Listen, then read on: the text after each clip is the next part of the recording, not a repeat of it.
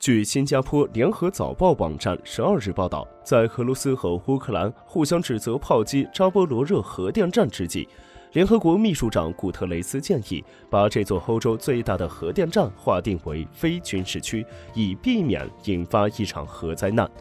路透社报道，联合国安理会当地时间十一日召开紧急会议，讨论扎波罗热核电站局势。古特雷斯呼吁俄乌双方暂停在核电站附近的所有战斗。报道称，古特雷斯说，这座核电站绝对不能成为军事行动的一部分，双方必须在技术层面紧急达成一项协议，以确保扎波罗热地区的安全。报道称，乌克兰原子能公司说，扎波罗热核电站十一日遭到五次炮击，包括放射性材料储存库的附近。